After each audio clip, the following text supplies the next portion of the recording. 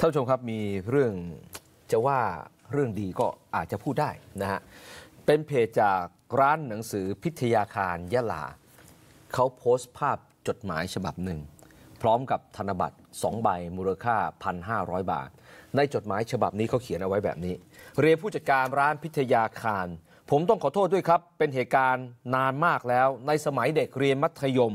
ผมได้ทำในสิ่งที่ไม่ดี เอาหนังสือจากทางร้านด้วยความที่ ไม่มีเงินแต่อยากได้ เป็นหนังสือที่จำได้สตาร์ซ็อกเกอร์หลายเล่มทำให้มันติดตัวผมอยู่ตลอดเวลา พยายามหาโอกาสที่จะชดใช้ ผมขอส่งเงินจำนวนนี้เพื่อชดใช้ค่าเสียหาย และยกโทษให้ผมด้วยครับ ขอบคุณครับนี่นะฮะทางร้านพอได้รับหนังสือฉบับนี้แล้วก็เงิน ก็เลยรีบโพสต์ข้อความว่ายกโทษให้ครับ สิ่งนี้แสดงถึงว่าแท้จริงแล้วน้องเป็นคนดีมาก พี่ชื่นชมและขอบคุณ ขอให้โชคดี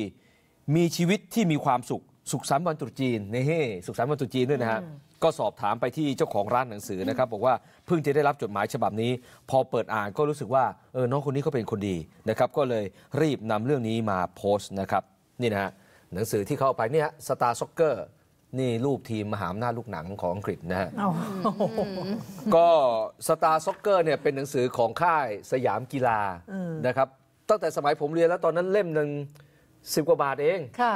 สิบกว่าบาทเองนะฮะแล้วก็แฟนบอลที่ชอบฟุตบอลต่างประเทศ โดยเฉพาะอังกฤษเนี่ยค่ะ ต้องตาม Star Soccer ตอนนั้นออกประมาณสักอาทิตย์ละหนึ่งหนึ่งฉบับ รายสัปดาห์ ซื้อทุกใช่สัปดาห์สัปดาห์ค่ะค่ะ นี่นะเนี่ยเห็นไหมเขายังลงรูปแชมป์ลิเวอร์พูลอยู่เลยเห็นไหมฮะ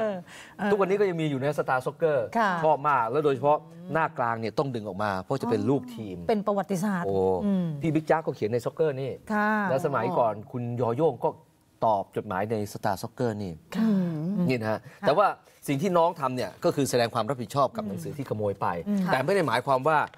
ใครก็ตามถ้าไม่มีเงินแล้วจะไปขโมยหนังสือ แล้วค่อยมาใช้คืนวันหลัง อย่างนี้ไม่ได้นะฮะอย่างนี้ไม่ได้ค่ะค่ะเจ้าของร้านก็ใจดีนะคะ ยกโทษให้ไม่ครับเอาผิดด้วย